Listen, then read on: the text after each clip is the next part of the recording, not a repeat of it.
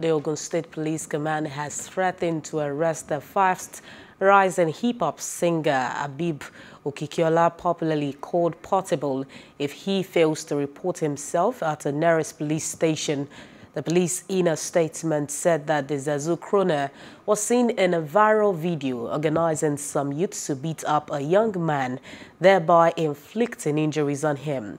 According to the police, the violent incident was barbaric, unbecoming and capable of sending wrong signals to the youth about jungle justice if not checked. Hello. Hope you enjoyed the news. Please do subscribe to our YouTube channel and don't forget to hit the notification button so you get notified about fresh news updates.